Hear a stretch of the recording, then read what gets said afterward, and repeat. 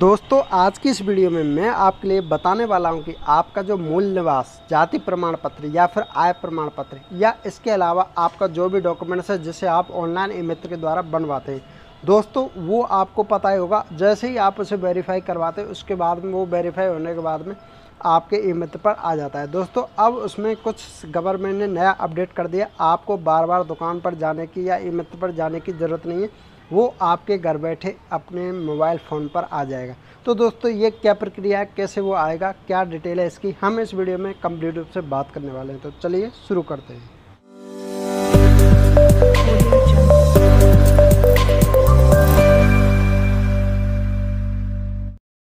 दोस्तों, जैसे कि आपने अपना जाति प्रमाण पत्र अभी न्यू बनवाने के लिए, यानी नया बनवाने के लिए इमिट से ऑनलाइन करवाया था। अब ऑनलाइन करवाने के बाद में वो आपके तहसील लेवल पर 10 या 5 दिन में वेरीफाई होकर वापस इमित पर आ जाता है, जिसे आप वहाँ से डाउनलोड कर सकते हैं।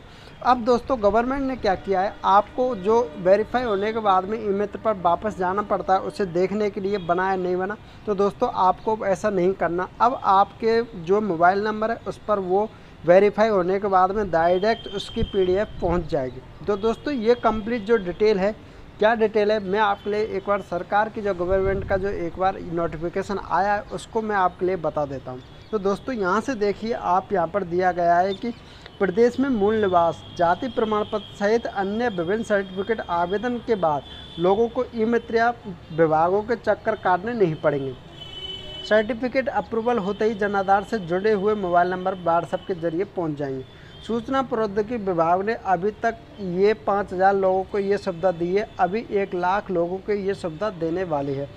एंड आने वाले टाइम पर एक साल में साठ लाख सर्टिफिकेट जो बने हैं, उनको सरकार आपके जो आधार कार्ड नंबर है जन आधार कार्ड से जुड़ा हुआ यानी आपका जो मोबाइल नंबर है, उस पर ये आपके ई मित्र की द्वारा जो बनाया जाता है, आपका जाति प्रमाण पत्र, उसकी यहाँ से पीडीएफ के रूप में आपके मोबाइल पर दे दी जाएगी। आपको बार बार ई मित्र पर जाने की ज़रूरत नहीं पड़ेगी। दोस्तों, ये कंप्लीट डिटेल है जो गवर्नमेंट ने अभी अपडेट इसका जारी किया है।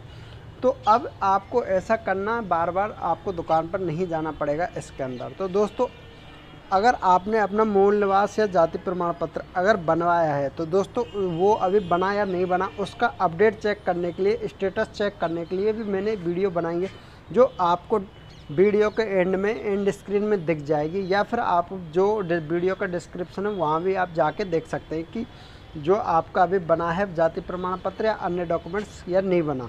तो दोस्तों, ये कंप्लीट जानकारी आपको कैसी लगी, हमें कमेंट करके ज़रूर बताना। और अगर वीडियो अच्छी लगी है तो प्लीज़ वीडियो को लाइक करना। एंड हमारे चैनल को सब्सक्राइब करना। तो दोस्तों, मिलते हैं अगली वीडियो में, तब तक के लिए धन्यवाद।